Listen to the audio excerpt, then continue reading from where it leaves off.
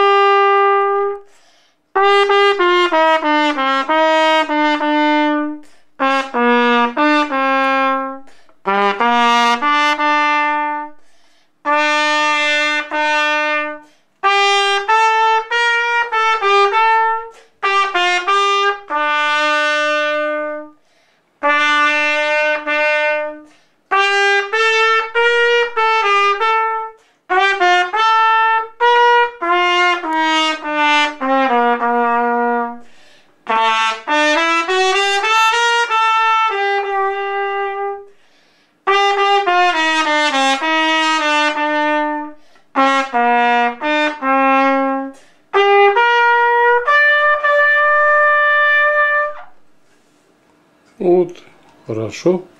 Образец для подражания для всех детей.